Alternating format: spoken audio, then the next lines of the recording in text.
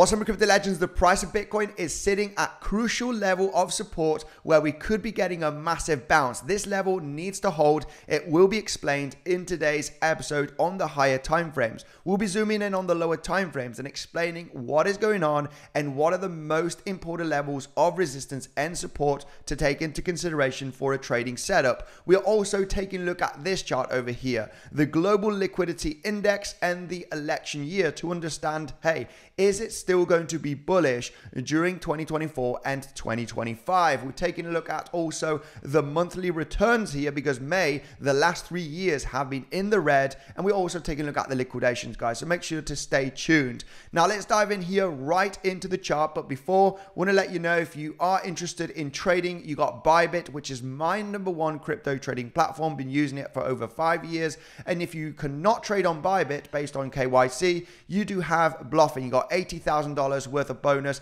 and it's no KYC. Just to let you know that the copy trading is already full. I will be doing a live stream later on to explain the settings here and to start trading from tomorrow in this account. Now let's dive in here right away into the technical analysis. This is the four hourly time frame. Just give a brief explanation on why are we holding this level. Well, this level basically is the weekly close from last week. Okay, we can see here the $63,000, this orange horizontal line right over here, and also the value area low from the entire trading range of March and April. When we go to the weekly time frame, just for anybody that does not know, and we zoom out, we can see the weekly candle close and open from the last two weeks, and this level is where it's holding quite nicely. Now you can see also that the value area low is maintaining as support. We have the lower high resistance trend line from the last few weeks that is also maintaining nicely as support. So this zone, no doubt, is extremely important. We are holding quite nicely here, and it does mean that there is a chance to get a bounce to claim yesterday's highs above $65,000. Now, when we do zoom in on the lower time frames here, such as the 30 minute time frame, we are maintaining very nicely this weekly level, guys. We also formed a double bottom right over here just late last night. This is great for a long entry right over there and speculate that the price is actually going to get that recovery in the next coming hours or next coming days, right? Depending on that volatility. Now, the previous day low from yesterday, okay, was actually maintained very nicely as support right there. This is actually a long trigger. You're holding the weekly, you're holding the lower high resistance trend line. You're also here testing the previous day low. This is from yesterday, and you're forming that local double bottom. These are great long triggers, no doubt, to speculate here that we are going to break through. When we take a look at the session volume profile, let's analyze the possible scenarios, guys, because no doubt we could have another attempt in breaking down here. And if we do break down from this level, it's not going to be looking too great.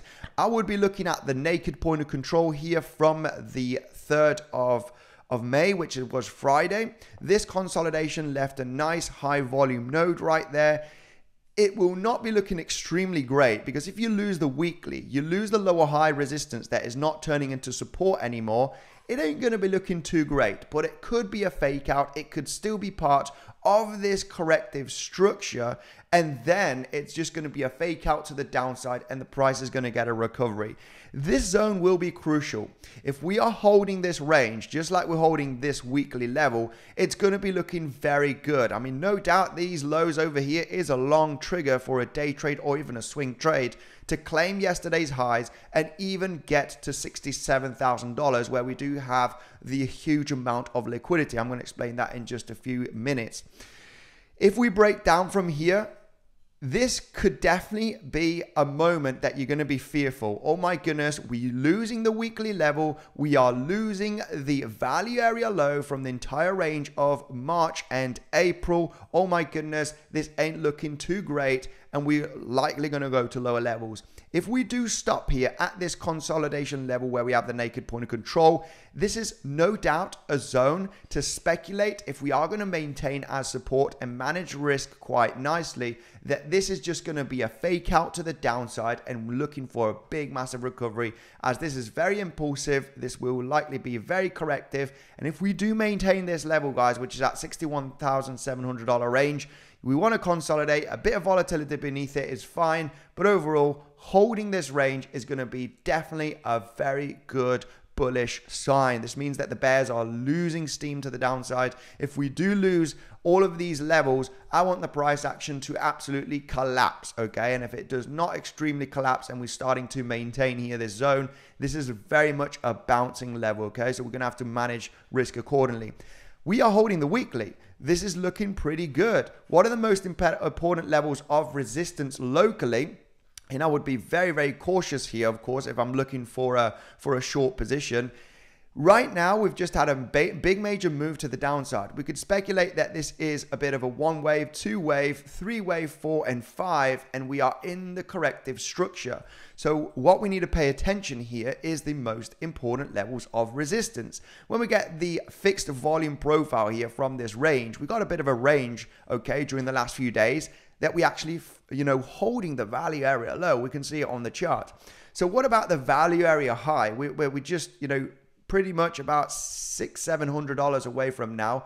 Could we break above it successfully, or could it be a big, massive fake out? No doubt that the resistance zone that we need to break is from the pivot high to the pivot low, 618 Fibonacci. We got the value area high right there. We cannot create the choppiness. It could definitely be a back test from the previous previous day high. Okay, the Sunday, which has created a failed auction right there. The Sunday high and no doubt it could be a back test from the failed auction as you're hitting the 618, okay, 78 Fibonacci. If we're starting to get choppy here, I would consider a potential short trade managing risk very well, and that is speculating only on an A, B, C move to the downside, and then we will go from there. I need the reaction here. It's the back test from the Sunday highs of a failed auction, and it's also hitting the 618 and possibly the 7-8 Fibonacci, getting choppy, not explosive. If we are going to consolidate here at this range over here at $64,500 range, then obviously we can see the bulls losing steam and we could speculate on a leg down to coming back down to the lows of today.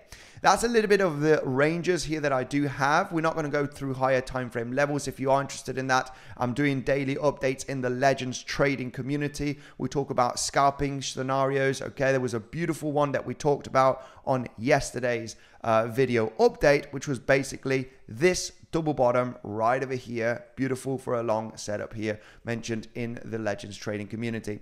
Let's go right away with this chart, guys. Super important. We do have the Bitcoin chart to the upside. This is very important, all right? We mentioned this on a video update a few days ago, but it's something to take into consideration. This chart over here with the candlestick is the Global Liquidity Index. Of course, this is when the money printer goes on and there's liquidity everywhere. This is what happened back in March of 2020 where the money printer started to go on and there was a huge amount of liquidity, all right?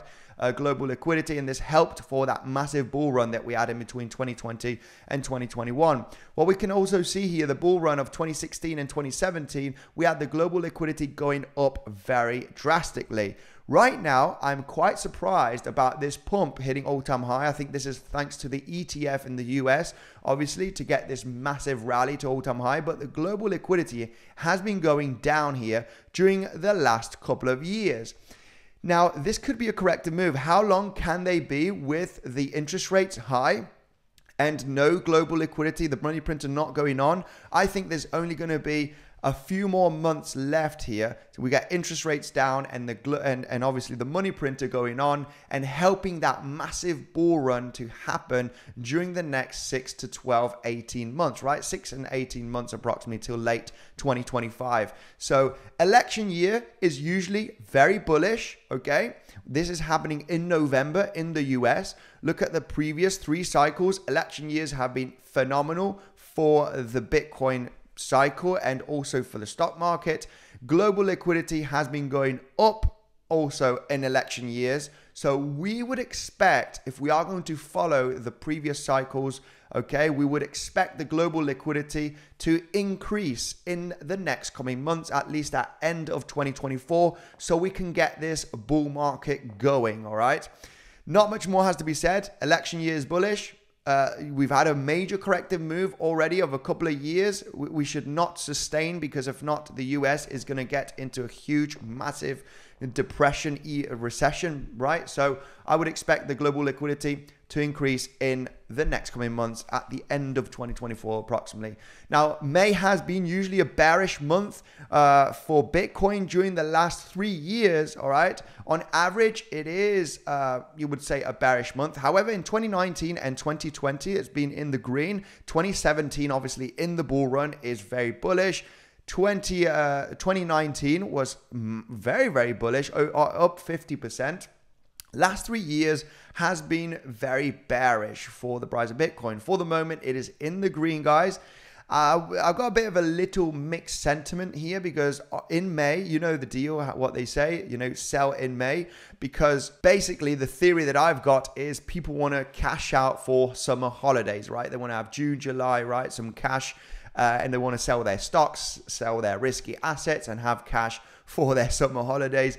And May, on average, okay, for the stock market is uh, a red month. Can this time be different? Well, we have seen 2019 has been very bullish in May, and also in 2017 and 2014, very, very bullish. So I've got a little bit of a mixed sentiment here. I wouldn't say I'm, I'm very, very clear on is this May going to be bearish or will it be extremely bullish? I have a little bit of a 50 50 sentiment here looking at the data.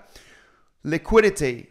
Why can the price hold here this level of $63,000 range, maybe 62 with a slight drop here in the next one to two days? Why could we maintain it and continue to the upside? Well, most of the liquidity, short liquidations, is sitting above $65,000. No doubt we do have some liquidity beneath $62,000, but most of it of billions of dollars is sitting at 65,800 range. We got a couple of billion dollars there, and the most of it is sitting at $67,000 area, where there is several billion dollars of short liquidations, meaning that the price does have a chance in holding this level of support and maintaining here this zone and continuing to the upside. Legends, that is going to be it for today's episode. Thank you very much for joining. I'll be doing a live stream. I'm going to talk about Blofin, of course, about the copy trading. If you haven't learned how to trade on Bybit, which is my number one crypto trading platform, you got the video tutorial right over here. Thank you, and I will see you on the live stream later.